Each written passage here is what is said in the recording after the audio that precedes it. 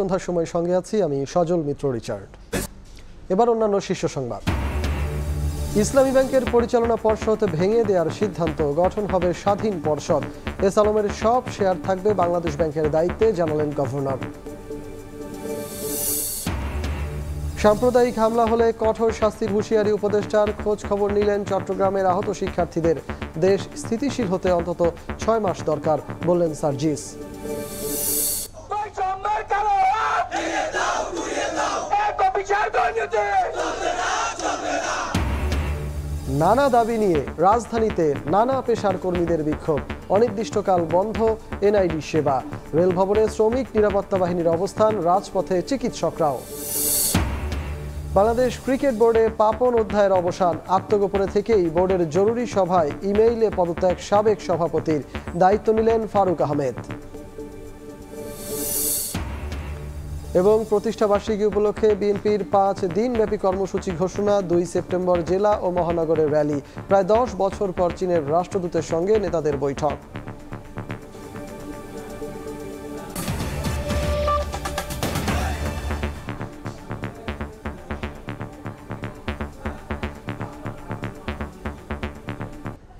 এবার কেয়ার হাসপাতাল থেকে বিএনপি চেয়ারপারসন বেগম খালেদা জিয়াকে বাসায় নেওয়া হচ্ছে? এই মুহূর্তে সেখানে আছেন আমাদের সহকর্মী ধ্রুব ব্যানার্জি। সরাসরি চলে যাচ্ছি তার কাছে।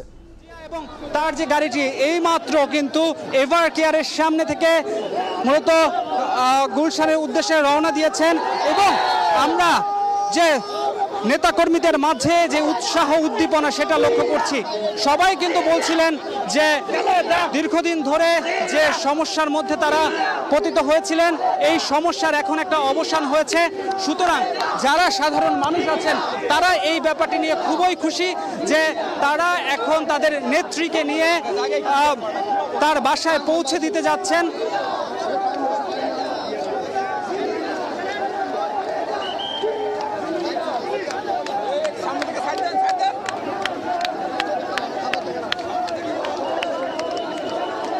আমরা লক্ষ্য করছি এখানকার সার্বিক যে নিরাপত্তা ব্যবস্থা নিরাপত্তা ব্যবস্থার জন্য এখানকার যারা নিরাপত্তা কর্মী আছে এসএসএফ এর যারা যারা সিএসএফ এর সদস্য আছে তারাও চেষ্টা করছেন যাতে গাড়িটি খুব সহজেই গন্তব্যের উদ্দেশ্যে রওনা দিতে পারে। কিন্তু উৎসুক যারা জনতা আছেন যারা বেগম খালেদা জিয়াকে ভালোবাসেন তাদের জন্য কিন্তু আজকের যে অবস্থা তারা কিন্তু এক নজর দেখার জন্য অনেক পরিশ্রম করছেন।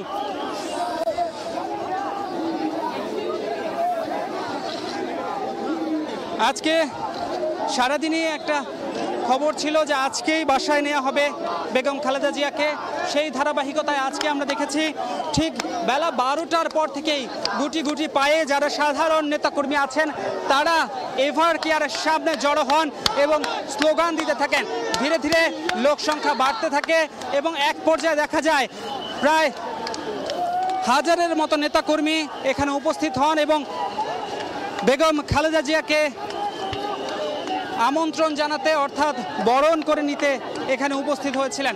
গত সাত জুলাই পর থেকে বেগম খালেদা জিয়া বেশ অসুস্থ থাকায় তাকে কিন্তু এভার কেয়ার হাসপাতালে ভর্তি করা হয়েছিল এবং এখানেই তিনি চিকিৎসা নিচ্ছেন।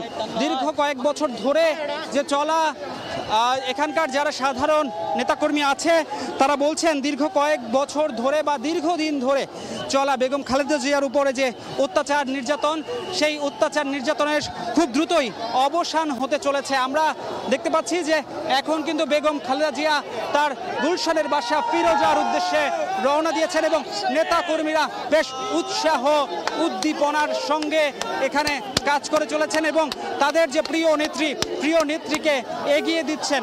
আমরা একটু লক্ষ্য করলে দেখতে পাবো যে এখানে নিরাপত্তা বাহিনীর সদস্য যারা আছেন তারা কিন্তু বেশ পরিশ্রম করছেন এবং গাড়িটি ধীরে ধীরে সামনের দিকে এগিয়ে যাচ্ছে। যেহেতু আহ, এভার কেয়ার হাসপাতালের সামনে সাধারণ মানুষের প্রবেশ তেমন একটা দেখা যায় না। তবে আজকে যেহেতু বেগম খালেদা জিয়া তাদের তার বাড়ির উদ্দেশ্যে রওনা দিয়েছেন, একদম মুক্ত হয়ে দীর্ঘদিন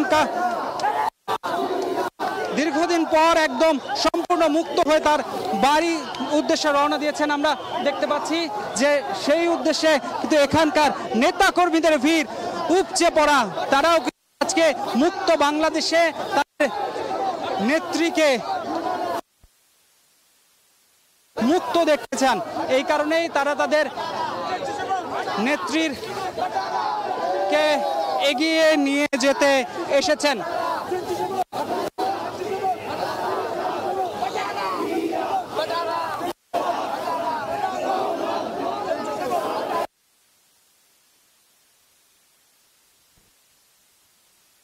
ফেল করছি নাকি? ওইখান থেকে কইছি না রেকর্ড দিতে।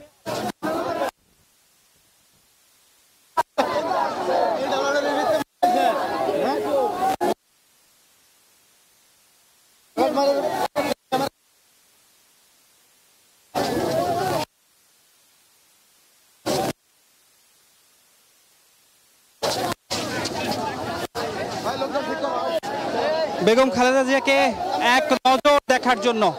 নেতাকর্মী যে উচ্ছ্বাস, যে আগ্রহ, সেটা আসলে বলার অপেক্ষা রাখে না। কেউ এক নজর দেখলেই বলছেন যে, এই মাত্র দেখলাম আমাদের নেত্রীকে।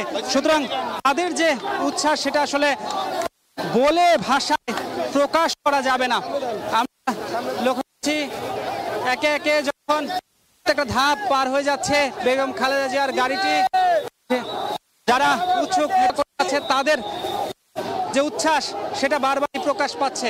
সবাই পুরো রাস্তা, অনেকেই আছেন যে সবাই বেগম খালেদা জিয়ার বাসায় ফেরার খবর জানাতে আমাদের সঙ্গে এভার কেয়ারের সামনে থেকে যুক্ত হয়েছিলেন সহকর্মী ধ্রুব ব্যানার্জি। বেগম জিয়ার বাসায় ফেরার বিষয়ে বিস্তারিত জানতে ভিজিট করুন সময় টিভির ফেসবুক পেজে। অবশেষে ভেঙে দেয়া হচ্ছে ইসলামী ব্যাংকের পরিচালনা পর্ষদ। বুধবার এ তথ্য জানিয়েছেন বাংলাদেশ ব্যাংকের গভর্নর আহসান এইচ মনসুর। ইসলামী ব্যাংকের জন্য নতুন পরিচালনা পর্ষদ গঠন করা হবে বলেও জানান গভর্নর।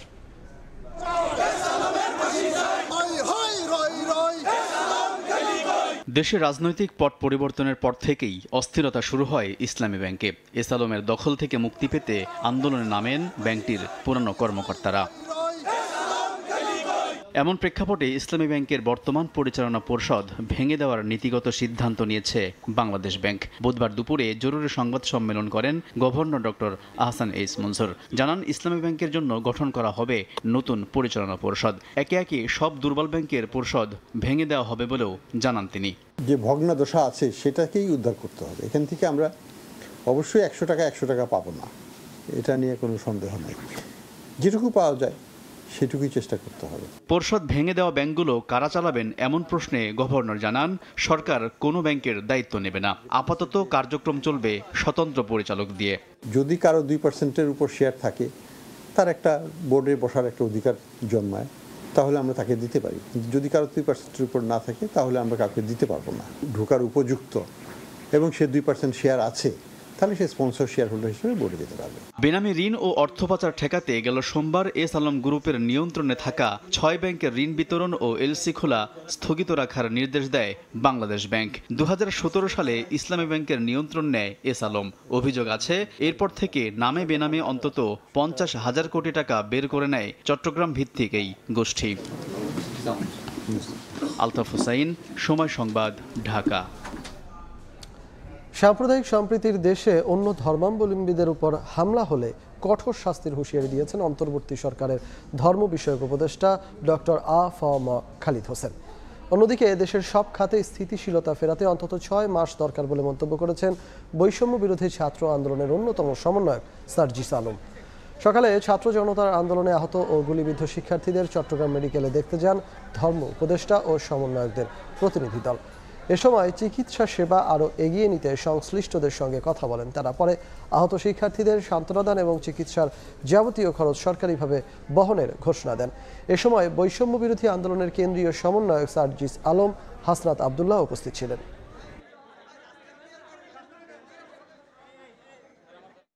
বিগত ষোলো বছর ধরে যে মানুষরা একটি মাত্র কথা বলার সাহস করেনি বিগত তিপ্পান্ন বছরে যারা এই লুপ হোলগুলো নিয়ে রাস্তায় নামার খুব একটা সাহস করেনি, সেই মানুষগুলো একটি অন্তর্বর্তীকালীন সরকার গঠন হওয়ার সাথে সাথে চাচ্ছে ষোলো দিনের মধ্যে সব সমস্যার সমাধান হয়ে যাক। রাষ্ট্রকে মিনিমাম একটি স্থিতিশীল অবস্থা আসার জন্য অন্তত তিন থেকে ছয় মাস আপনাদের অবশ্যই সময় দিতে হবে। আপনারা যদি আমাদেরকে যথাযথ রাষ্ট্র পুনর্গঠনের সময় না দিয়ে গত ষোলো বছরের ব্যর্থতার দায়ভার আমাদের উপরে চাপিয়ে দিয়ে আপনারা এক ধরনের আমাদেরকে ব্ল্যাকমেল করেন, তাহলে আমরা মনে করব আপনারা রাষ্ট্র পুনর্গঠনে আমাদেরকে সহায়তা না করে বরং আপনারা ষড়যন্ত্র করছেন। যারা এই উপাসনালয়ে হামলা করে বা আমাদের হিন্দু, বৌদ্ধ, খ্রিস্টান ভাইদের ঘরে যারা হাউস হোল্ড আক্রান্ত করে, আমরা এদেরকে ক্রিমিনাল মনে করি এবং this criminal will be punished by the existing law সন্ত্রাস ঠেকাতে সবাইকে এগিয়ে আসার আহ্বান জানিয়ে বিএনপি মহাসচিব মির্জা ফখরুল ইসলাম আলমগীর বলেছেন,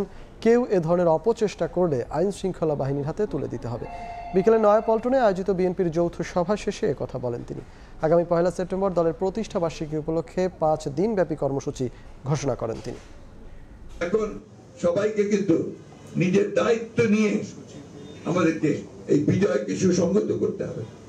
আজকে কেউ যদি সন্ত্রাস করতে চায়, কেউ যদি আপনার চাঁদাবাজি বা অন্য কিছু করে ক্ষতি করতে চায়, সেটাকে আমাদেরকে, রাজনৈতিক নেতৃবৃন্দকে, আমাদেরকে সেটাকে রুখে দিতে হবে এবং সেটাকে প্রতিরোধ করতে হবে। বিএনপি ছেচল্লিশতম প্রতিষ্ঠা বার্ষিকী যে পালন করতে যাচ্ছি, একত্রিশে আগস্ট, অর্থাৎ পয়লা সেপ্টেম্বর, একদিন আগে আলোচনা সভা। এক সেপ্টেম্বর শহীদ প্রেসিডেন্ট জিয়াউর রহমান বীর উত্তমের মাজারে আপনার জিয়ারত পাঠ ও সুলতান নিবেশ প্রায় দশ বছর পর বিএনপির সঙ্গে আনুষ্ঠানিক বৈঠক করল চীন। বেলা এগারোটায় বিএনপি চেয়ারপারসনের গুলশান কার্যালয়ে দলটির নেতাদের সঙ্গে বৈঠক করেন ঢাকায় নিযুক্ত দেশটির রাষ্ট্রদূত ইয়াও ওয়েন। এ সময় তিনি জানান, বাংলাদেশের সঙ্গে সম্পর্ক আরও সুদৃঢ় করবে চীন। বৈঠক শেষে বিএনপি মহাসচিব বলেন, চীন আধিপত্যে বিশ্বাস করে না। ভূ রাজনৈতিক পরিস্থিতিতে তারা বাংলাদেশের পাশে থাকবে। চীনের পতাকাবাহী গাড়ি ঢুকছে বিএনপি চেয়ারপারসনের গুলশান কার্যালয়ে। এসেছেন বাংলাদেশে নিযুক্ত চীনের রাষ্ট্রদূত। প্রায় দশ বছর পর আনুষ্ঠানিক বৈঠক করতে বিএনপি নেতাদের সঙ্গে বসেন চীনের রাষ্ট্রদূত ইয়াওয়েন আওয়ামী লীগ সরকার ক্ষমতায় থাকতে চীনকে এক কেন্দ্রিক সম্পর্ক উন্নয়নে অনেকটা বাধ্য করে ক্ষমতাচ্যুত শেখ হাসিনা। দীর্ঘদিন পর এই বৈঠক বিএনপির সঙ্গে। দলটির নেতাদের মধ্যে ছিলেন মহাসচিব মির্জা ফখরুল ইসলাম আলমগীর ও স্থায়ী কমিটির সদস্য ডক্টর খন্দকার মোশাররফ হোসেন সহ বেশ কয়েকজন। পরে গণমাধ্যমে কথা বলেন চীনের রাষ্ট্রদূত। তিনি বলেন, বাংলাদেশকে সব ধরনের সহায়তা করবেন তারা, তবে অভ্যন্তরীণ কোনো বিষয়ে হস্তক্ষেপ করবে না চীন। অন্তর্বর্তীকালীন সরকারের প্রতি সমর্থন জানিয়ে ইয়াওয়েন প্রত্যাশা করেন, অল্প কিছুদিনের মধ্যে বাংলাদেশের পরিস্থিতি স্বাভাবিক হবে। China will persist our cooperation of non-interference into internal affair of any country. BNP মহাসচিব মির্জা ফখরুল বলেন দীর্ঘদিন পর চীনের রাষ্ট্রদূতকে পেয়ে আনন্দিত তার দল। চীনের সাথে সম্পর্ক আরও গভীর হবে জানিয়ে মির্জা ফখরুল বলেন ওয়ান চীন পলিসিতে সমর্থন করে বিএনপি ছাত্র জনতার যে বিপ্লব সেই বিপ্লবের পরে তাদের আমাদের কার্যালয়ে এই আশাটা এটাকে আমরা অত্যন্ত গুরুত্বের সঙ্গে নিচ্ছি। এবং আমরা যেটা মনে করি যে চীনের বাংলাদেশের জনগণের প্রতি তাদের যে কমিটমেন্ট তাদের প্রতিশ্রুতি তাদের ডেভেলপমেন্টের জন্য।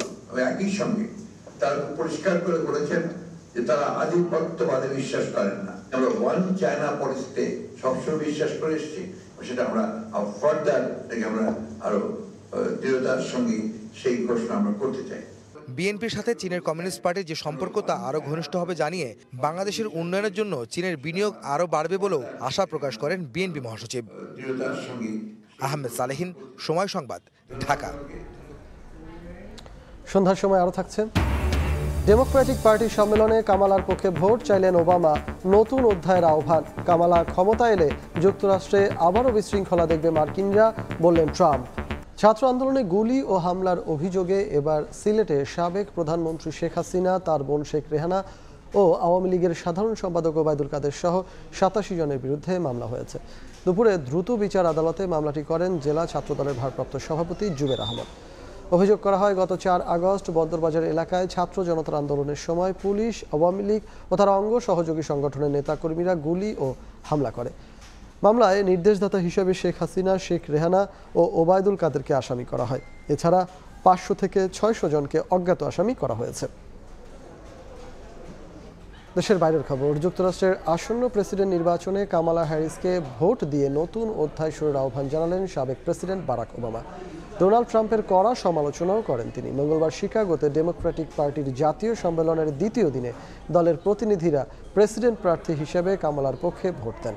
এদিন রানিং মেট টিম ওলসকে সঙ্গে নিয়ে দোদুল্যমান অঙ্গরাজ্য হুইসকনসিনে নির্বাচনী সমাবেশে যোগ দেন কামালা হ্যারিস। যুক্তরাষ্ট্র থেকে হাসানুজ্জামান সাকির রিপোর্ট। ডেমোক্রেটিক দলের জাতীয় সম্মেলনের দ্বিতীয় দিনে মঞ্চে হাজির মার্কিন ইতিহাসের জনপ্রিয়তম প্রেসিডেন্ট হিসেবে খ্যাত বারাক ওবামা। যুক্তরাষ্ট্রে প্রথম কৃষ্ণাঙ্গ এই সাবেক প্রেসিডেন্ট কামালা হ্যারিসের পক্ষে মার্কিন জনগণকে উদ্বুদ্ধ করলেন। বললেন, শক্তিশালী যুক্তরাষ্ট্র গঠনে কামালার বিকল্প নেই। এ সময় তিনি রিপাবলিকান প্রেসিডেন্ট প্রার্থী, সাবেক প্রেসিডেন্ট ডোনাল্ড ট্রাম্পের কড়া সমালোচনা করেন। We do of bluster and bumbling and chaos. We have seen that movie before, and we all know that the sequel is usually worse. America's ready for a new chapter. America's ready for a better story. We are ready for a President Kamala Harris. এদিন সাবেক first lady Michelle Obama মার্কিন কংগ্রেসের উচ্চকক্ষ সেনেটে সংখ্যাগরিষ্ঠ দলের নেতা, ক্ষমতাসীন Democratic পার্টির Chuck Schumer senator Bernie Sanders ও ভাইস প্রেসিডেন্ট কামালা হ্যারিসের স্বামী সেকেন্ড জেন্টলম্যান ডগলাস অ্যামহফ বক্তব্য রাখেন।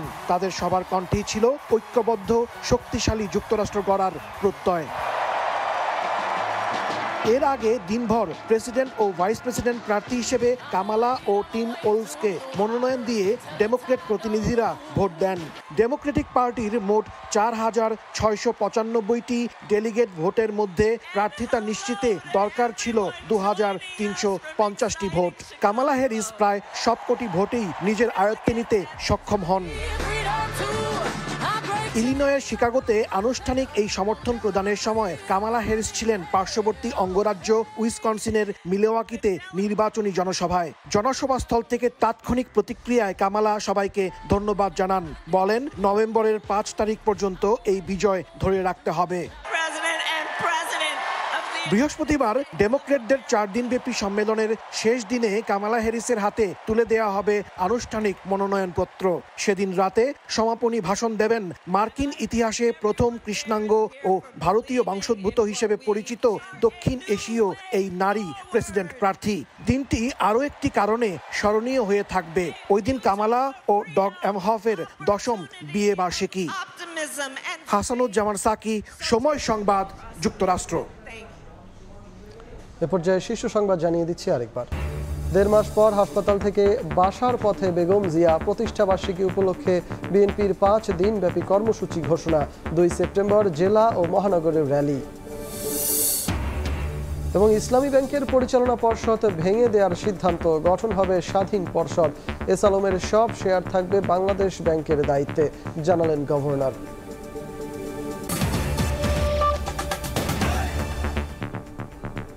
এই ছিল সন্ধ্যার সময়। এরপর দেখবেন জনপদের সময়। সঙ্গে থাকুন সময়ের।